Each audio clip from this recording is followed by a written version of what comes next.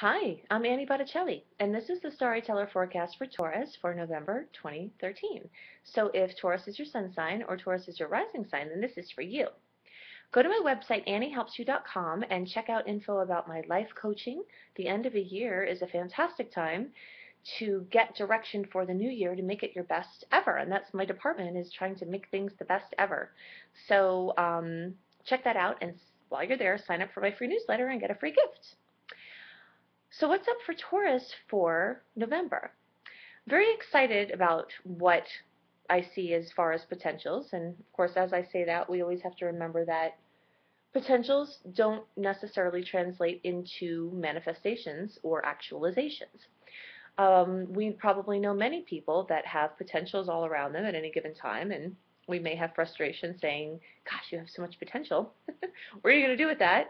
And that is how I look at astrology and how I experience astrology is that I see all of these potentials around an individual, around the sign, around a, you know, a certain um, horoscope, monthly horoscope for, you know, a rising or a sun sign.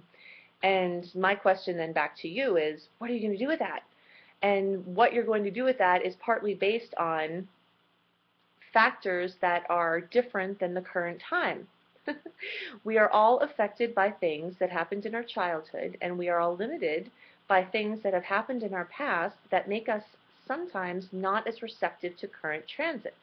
This is why I don't do just transit readings, because I've come to see that unless we resolve certain core issues, the way that we are receptive or magnetic to actualizing potentials that are around us is going to be dramatically affected. So these are the types of things that I go into in my sessions, um, what you can do to shift that energy and make the most of the current planetary transits. But in any case, regardless of what you've got going on in that area, I'm going to go into all of these potentials that I see for November.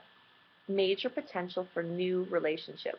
And this can be a new client relationship, this can be any relationship of consequence. Um, and this can also be a new aspect of a current relationship. So perhaps you're in a long-term romantic relationship, but you have this tremendous energy, multiple placements around new energy coming in into an old relationship or and reviving it or bringing a different aspect of it um, or just an entirely new relationship. Um, there are multiple factors in your chart that make me, if you are of childbearing age or child-making age, then um, definitely be warned that if you're not trying to make a baby, you have a lot of energy around you for making one anyway.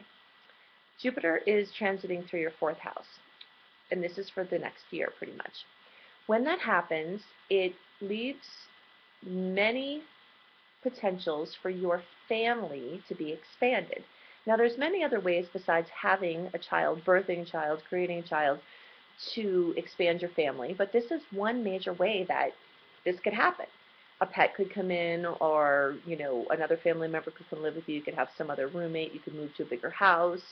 There are different ways this can manifest, but when you when you combine the factor of Jupiter in the fourth house with the factor of Mars in the fifth house, which rules children, which makes you more fertile right now, and you have been through October and um, will be through part of November and actually September also.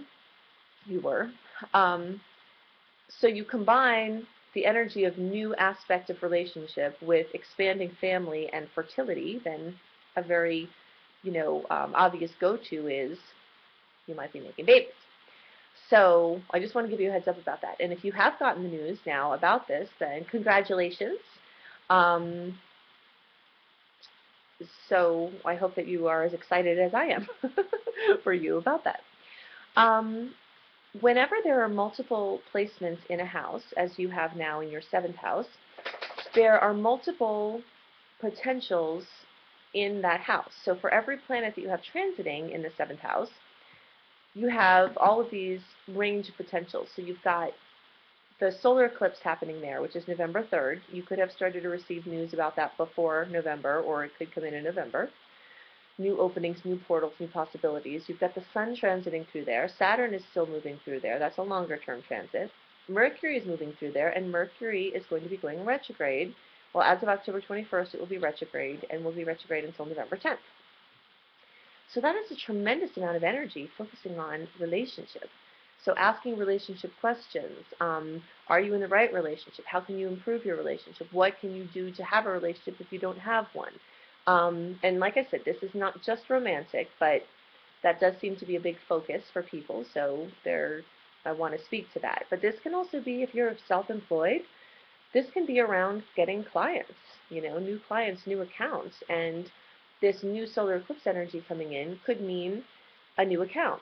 And it could be something creative, and that can be how this fifth house comes in. And perhaps you move to a bigger place or, or an area that feels expanded to you to help your work. And this Mars in the fifth house can rule a creative effort rather than a child.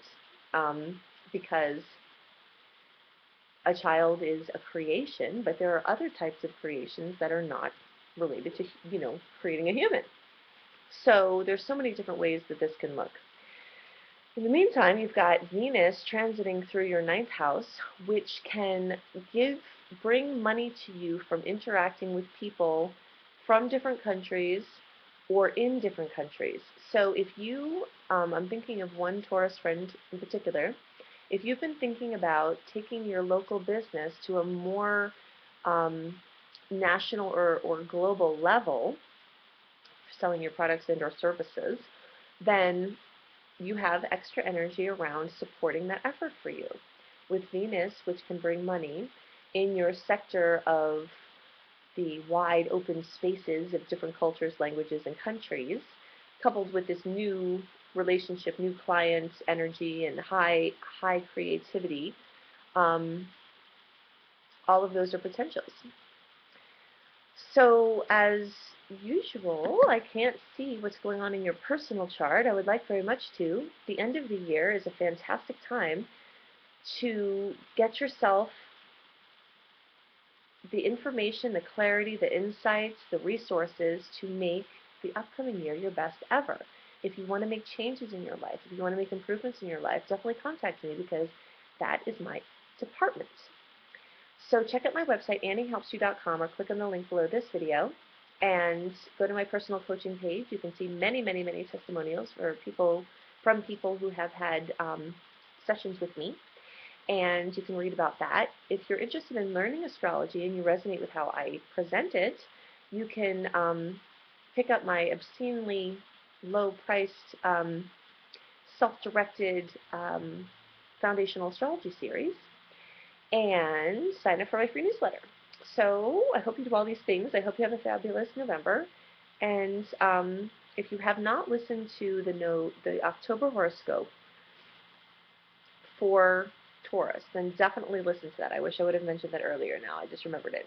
But there are aspects that I talked about in that horoscope that are going to be current for November that I didn't go into in this video. So listening to the November and the October videos will give you more of a complete picture of the energetic profile of the month.